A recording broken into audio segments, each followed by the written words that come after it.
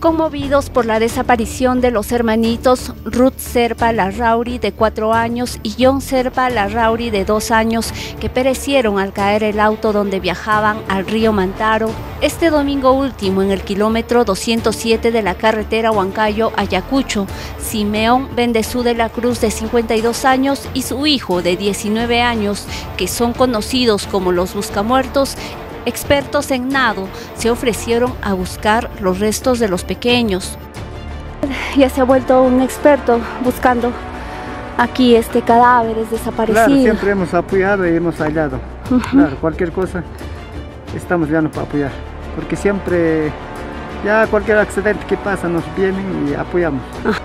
Ellos no son rescatistas profesionales, pero son hábiles pobladores que con el paso de los años y su estancia en el lugar les ha permitido conocer más el río Mantaro.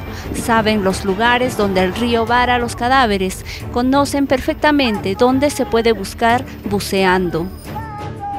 Eh, hay sitios conocidos y más que nada nos aseguramos a la represa.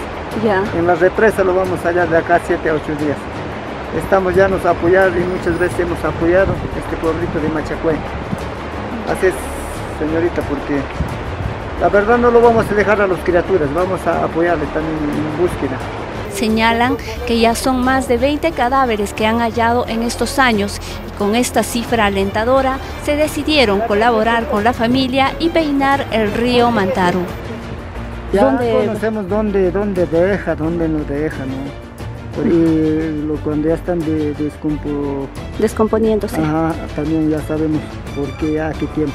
Porque eso es lo que escuché, en escuchar lo que he encontrado ya tiene a cuatro a cinco meses.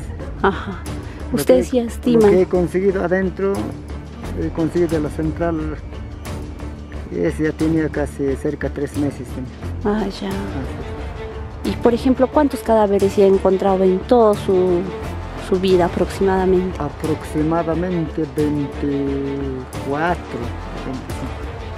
Pero otros lo han buscado los dueños o interesados, pero otros ya lo han Por su parte, la policía también se ha sumado a la búsqueda.